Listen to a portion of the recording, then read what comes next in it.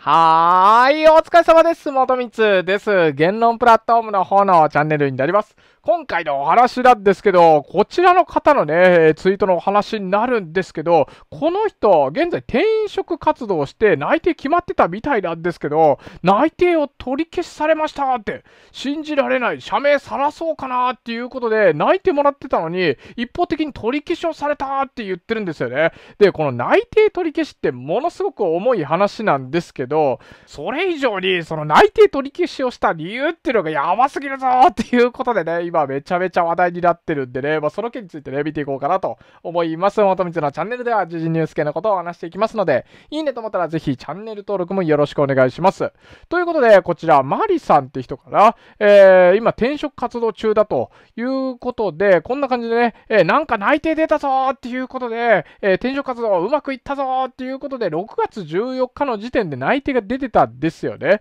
で、ああ、内定承諾を送ったって、もうここに決めるっていうような感じで承諾を送ってたんですよ。そしたらね、内定取り消されたっていうことで、6月21日、だから内定出てから1週間ぐらいで取り消されちゃったらしいんですよ。えー、なんで？ってなって、で、その内容っていうのがここにね、えー書いてあるんですけど、あ、ちょっと待ってね。えーそんなことあるって、まあ、正直びっくりしてるみたいなんですけど、その内容がこちらで、えマイナビのね、転職、えのところのあのページ、なんかここからメッセージが来てるみたいなんですけど、最近ってこのマイナビを介してメッセージやり取りするんだね。ちょっと元光はそれ知らなかったですけど、なんかイメージ的にはそのマイナビとかって、えーまあ、その仲介役みたいな感じで、まあ、最終的には会社と直接やり取りするのかなと思ってたんですけど、マイナビを介してメールが来てるみたいなんですね。メールというかメッセージか。えー応募への感謝と内定取り消しのご連絡っていうことで、マイナビ転職から内定取り消しになりましたって連絡が来てるみたいなんですよね。で、相手の会社が、まあ、ここ白塗りにされてるんですけど、株式会社だって、なんとか、まあ、ホールディングスなのかな？なんかわかんないけど、なんとかティングスっていうとこから来てて、で、えーどういう内容だったかっていうと、先日はご来社いただき、誠にありがとうございました。貴重な時間を割いていただき、面接及び選考にご協力いただきましたことを心から感謝いたしますということで、まあ、内定承諾しに行ったってことだよね、多分。えーご応募いただいたポジションについて、内定のご案内を差し上げましたが、が 泣いてもらった後に、こんな逆説とか普通出てこないんですけどね、残念ながら採用の方向性に変更が生じたため、内定を取り消すことになりましたことをお知らせいたしますということで、あなた内定取り消しですって言われちゃうんですよね。で、その理由がね、ここに書いてるんですけど、当社の選考プロセスでは、候補者の適性と組織のニーズに基づいた判断を行っておりますが、他の候補者の方がより適切にマッチする結果となりました。ご応募いただいた熱意と貢献に感謝いたしますって。いや、感謝じゃなくて、いやなんで内定取り消すの？しかもさ、これ読んだらさ、他の人をね、えーあなたの代わりに採用することになりましたって言ってるんだよ。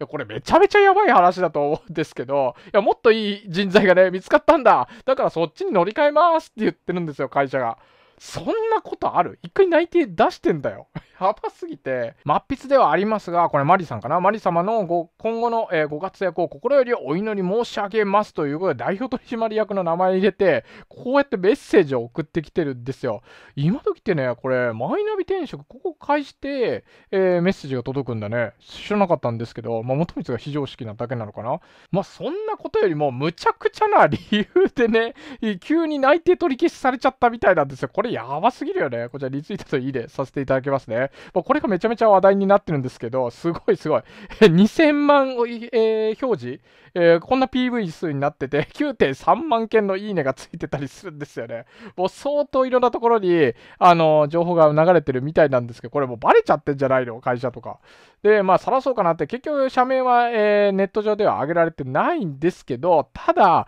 こんなことになったから、マイナビには通報したって、今からハロワとローキ行くって、こんな内定取り消しは納得できないっていうことで、まあ、各所にね、こういうふうに言ってるみたいなんですよ。で、弁護士に無料相談を送ったっていうことで、法的措置とかも取るぞと、ちゃんとね、そういうふうにしていかないとやべえっていうふうに、えーこの人言われてて、マイナビから返信、ブチギレの文章にご丁寧にありがとうございますっていうことで、これはマイナビから帰ってきたみたいなんですよね。さっきのこれか。えーと、これでね、マイナビには通報したって、内定取り消しされたって通報通報したら、マイナビから帰ってきたのがこれで、お問い合わせのメールを拝見いたしました。恐れ入りますが、もう少し詳しいお話を伺いたく存じます。ご多忙のところ、お手数をおかけいたしますが、以下についてご回答いただけますでしょうか？ということで、まあ、マイナビさんは別に悪いわけじゃないからね、この話。で、えー、まあ、確認事項ということで、内定取引を受けたとのことですが、これまでの経緯を詳しく教えてくださいと。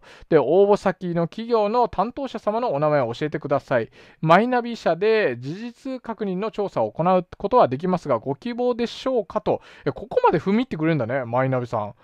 すっごいフォローしっかりしてんだなって思うんですけど、元光が就職活動してる時って、なんかもう、なんだ、入り口だけって、まあ、新卒だったからかな？えー、とか、他には4が、えー、3で希望される場合のみお答えくださいということで、まあ、こういうふうにいろいろフォローしますよって言ってて、調査に際し、えー、まあ、これマリさんのお名前をお伝えしてもよろしいでしょうか？以上になります。ご協力のほどよろしくお願いいたします。ということで、マイナビも協力的に動いてくれるみたいなんですよね。まこちらもいいね、させていただきますね。まあ、素人目線で言っても理由むちゃくちゃだろうって感じがするんですけど、だって他の人に切り替えますって言ってる理由だよ。こんなの成り立つわけないじゃんって感じがするんですけどね。というか、せめてもっとなんか嘘でもいいから、なんか理由つけろよって感じがしちゃいますよね。株式会社だよ、ここ。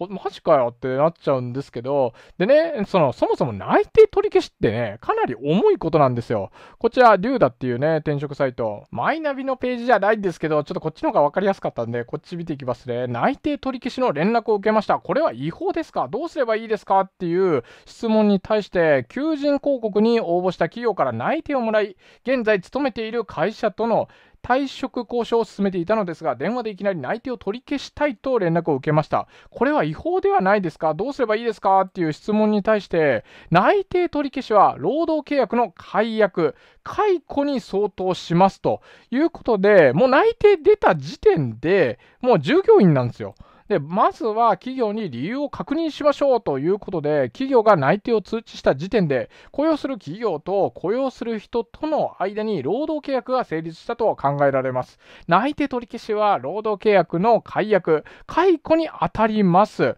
一般的な契約は、契約を結ぶのも解約するのも当事者間で自由に決めることができます。しかし、解雇は例外で、法律によって一定の制限が設けられており、妥当な理由がなければ解雇できないないことになっています。そのため、内定取り消しの連絡を受けた場合、まずはその理由を企業側に確認しましょうって、そう、解雇って簡単にはできないんですよね。えー、まあそこら辺のことも書いてるのかな、これ。ここだね、もっと具体的に言うとということで、例えば病気や怪我などが理由で内定先の仕事ができなくなった場合や、会社に嘘の経歴を伝えていて、その経歴が嘘だと会社が知っていれば採用しなかったと言える場合、まあ要するに、あの内定もらってる人がね、えー、問題が起こった時は、まあそれ内定取り消しできるよというふうになるんですけど、一方で、一般的に経営難や配属ポストの廃止といった企業側の理由による内定取り消しは人員を削減する必要性だけでなく、適切な配慮を尽くしたことなど、まあ、尽力を尽くして、あなたをどうしても内定取り消ししないといけないんです、みたいなとこまで考え、手続きの妥当性も踏まえて有効性が判断されることになります。内定者への配慮を欠く一方的な内定取り消しは、無効と判断される可能性が高いと言えますということで、よっぽどじゃないとダメなんですよ。そんな内定取り消しって、はい、あなたもうダメですっていうのは。なのに今回さ、あなたがこれから仕事しようとしてたポジションはもっといい人材見つかったからさ、そっちに切り替えますって言ってるんですよ。まあ、それにどう考えても妥当性が認められるような内容じゃないかなと 思うんですけどね。すごいこと言ってきてるね、この内容。びっくりなんですけど。内定取り消しもそうですけど、理由がやべえっていうことで、まあ、ネットですごい話題になってるんで、いろいろ見ていこうと思うんですけどね、いろんな意見。内定取り消しもおこだけど、メッセージ内容もなんか不適切な気が。要するにやっぱ他の人取るみたいなことでしょ。悲しい。設置がないって。いや、ほんとそうだよね。もうちょっとなんか嘘つくとかさ、まあ、いいわけじゃないけどさ、嘘ついても。まだなんか言い訳した方が良かったんじゃない？まあ、それでも内定取り消して良くないことだけど。とか、他にはこちらとかね、内定ってこんなキープみたいな感じで、軽率になかったことにできるんだっけ？って、まだガキンチョの学生なんで何も知らんけども。って、こんなことできんの？みたいな、まあ、実際できないはずなんですよね。なんじゃこれ？って。とか他には、こんはこんなことあるのか、こういうのを会社側が不適切というか、賠償金とか欲しいぐらいよなって、多分実際、戦ったら賠償金とかも出るんだと思うんですよね。どれだけ頑張って面接やって採用勝ち取ったことか、自分は運よく転職できてよかったっていうことでね、えー、まあ、この人はうまくいってたみたいなんですけど、こんなのお金とかもらわないと納得できねえよみたいなね、意見ですよね。とか他には、私も内定取り消しあったことがあるっていうことで、この人は実際に体験したことあって、しかも入社日前日、え？めちゃめちゃ急じゃん。いろいろ物とかも多分用意してたんじゃないの？会社に必要なものとかね。戦って保証はしてもらったって。あ、やっぱり、その、補填はしてくれるわけなんだ。結果的に逆に変な会社なのを早めに分かってよかったと思ったということで、変な会社に入らなくてよかったっていう風なね、まあそういうポジティブなね、考えとかもあったりします。とか、他には、よりいい人が見つかって、そっち雇いたいからお前雇うのやめるわとか、ここまで馬鹿正直に書く文章も珍しい気がするって。いや、そうなんだよね。すごいよね。これ一方的に言ってるんだよ。で、まあ、そもそもこんなクソ文章で内定取り消しがまかり通ると思ってそうな時点でやばいけどって、この会社やばくねえかっていう風にね、言われてます。まあ、ほんとそうだよね。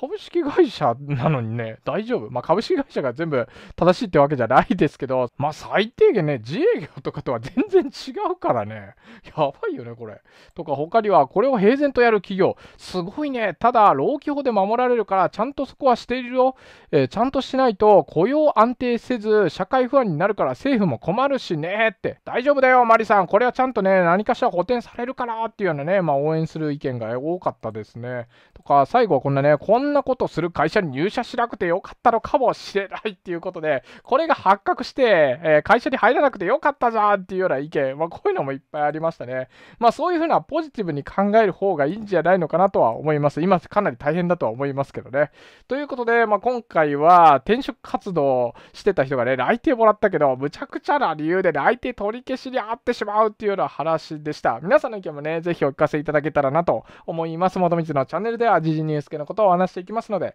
いいねと思ったらぜひチャンネル登録もよろしくお願いします。本日もご視聴ありがとうございました。